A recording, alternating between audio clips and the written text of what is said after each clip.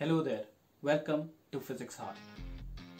You are already aware of the fact that the northeastern part of India is quite famous for its scenic beauty and also the rock music culture with bands like Soulmate, Magdalene and so on. And now there is this rock that rocks. That is, when you hit this type of rock with a hard substance, produces a bell-like sound. That is why they are known as the ringing rocks, also known as sonorous rocks. It is the same rock that is also found in Pennsylvania. The ringing rocks look similar to the normal rock. The only way to differentiate between them is by hitting them with a hard substance. Many of the researches has been conducted in this area of ringing rocks.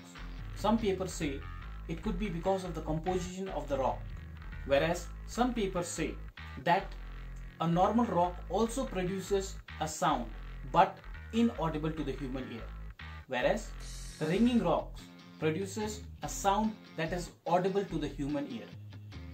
Well, whatever it is, they are quite awesome because music is on the rocks.